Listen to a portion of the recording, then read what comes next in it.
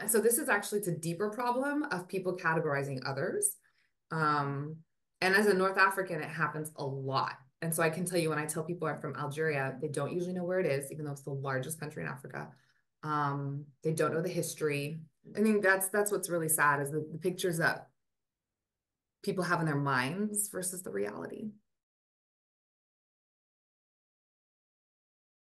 Like that's the best region of the world. They're super hospitable, super fun. They're up late every night dancing, best food.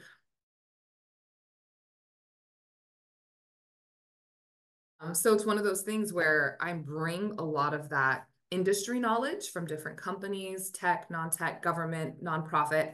And so because I've been able to work in different countries and different industries, I have an idea of like what equity has looked like.